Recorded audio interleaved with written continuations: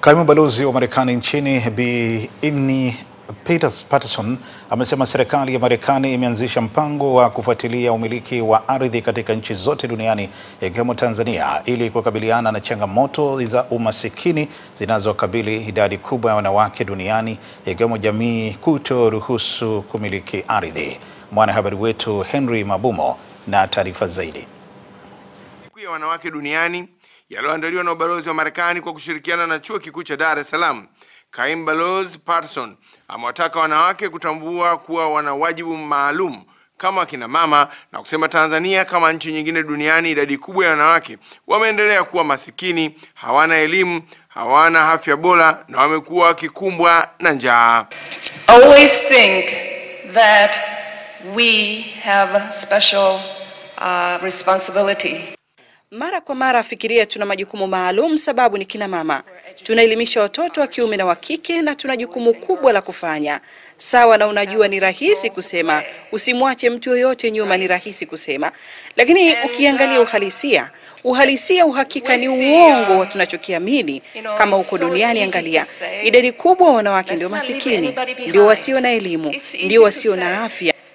The majority of the women are those who are poor, those who are uneducated, those who are unhealthy, Awali akizungumza katika maadhimisho hayo, makamu mkuu wa chuo kikuu cha Dar es Salaam Profesa Bonaventure Lutinwa amesema maadhimisho hayo yanalenga kuakisi maendeleo yaliyofanywa na serikali na taasisi mbalimbali katika kuwawezesha wanawake kwa viwango tofauti.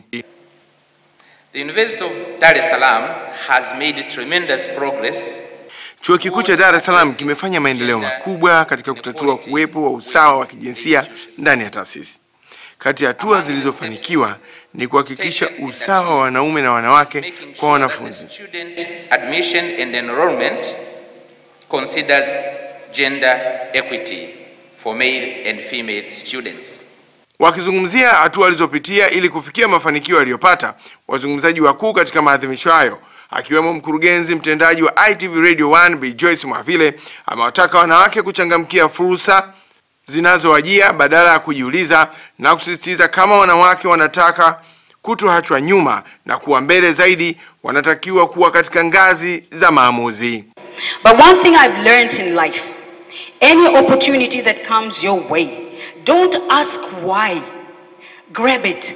There is a reason Kitu kimoja cha kujifunza katika maisha, "That's the fursa yoyote inayokuja kwako, usiulize kwa nini. Chukua, kuna sababu. no. Sababu kwa watu walioona kusema wewe ni mtu sahihi kwao, wameona wameona unaweza, usiseme When we talk hapana. about not leaving Umepata fursa, chukua.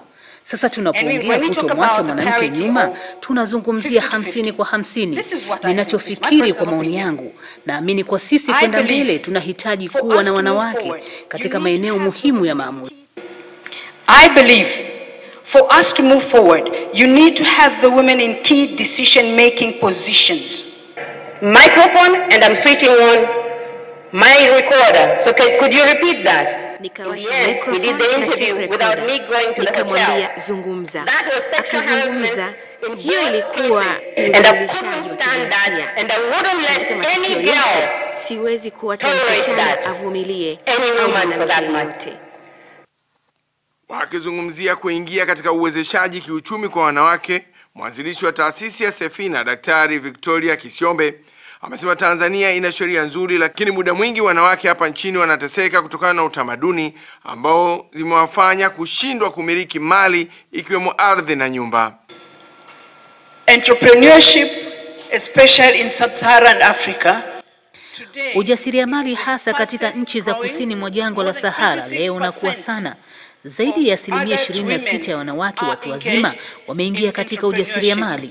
Katika and it is in muktadha this context katika muktadha huu naanza historia As yangu. we all Kama know, unavyojua sheria za Tanzania ni nzuri, lakini muda mwingi zinatawaliwa na sheria za kimila. but Muda mwingi wanawake wanateseka kwa sababu ya mila. by um, the traditional laws. Ni maadhimisho ya siku ya wanawake duniani ambayo yameandaliwa na ubalozi wa Marekani kwa kushirikiana na chuo kikuu cha Dar es Salaam. Kama ambavyo unaweza kujionea ni kwamba wanawake mbalimbali wameweza kushiriki katika maadhimisho haya. Changamoto mbalimbali zimeweza kuibuliwa. Kutoka hapa katika chuo kikuu cha Dar es Salaam, mimi ni Henry Mabumo wa ITV.